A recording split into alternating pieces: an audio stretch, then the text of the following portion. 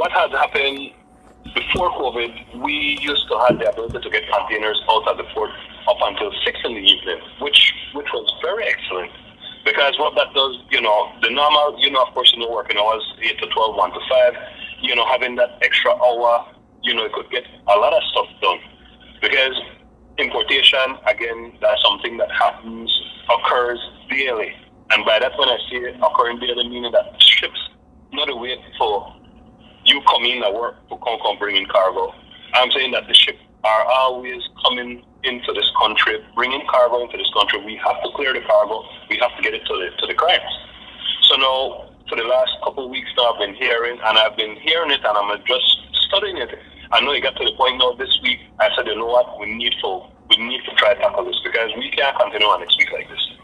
You know, having having truck drivers sitting coming to to, to, to the port from two or three in the morning just to try to get in here for when the port opens at eight in the morning. So for the business, that that's ridiculous. There's no way anyone could operate a business like that. Prior prior to this, you would have be able to get into the port, let's say maybe a turnaround time of an hour, hour and a half, which is which is good.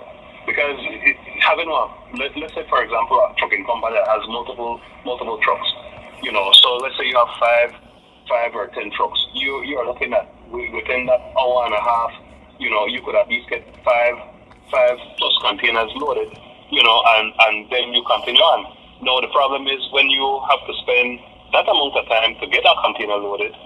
By the time you get back out to try and get back into the port, there's no way you could get another container loaded because remember now you have other trucks that are in queue waiting to, to get into the port.